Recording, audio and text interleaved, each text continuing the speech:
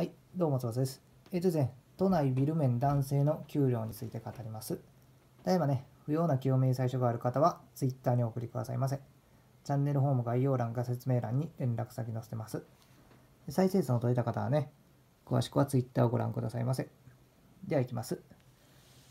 えー、基本給が17万9000円、住宅手当は5500円、夜間待機手当が3万1000円、通勤手当が1万8000円、で、総支給額が、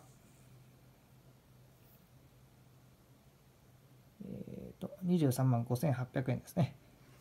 健康険が1万700円、厚生年金が2万円、雇用保険が700円、所得税が4400円、年末調整がマイナス1万円、住民税が9200円、親睦会が500円で、えー、排除金額が、えー、3万4000円ですね。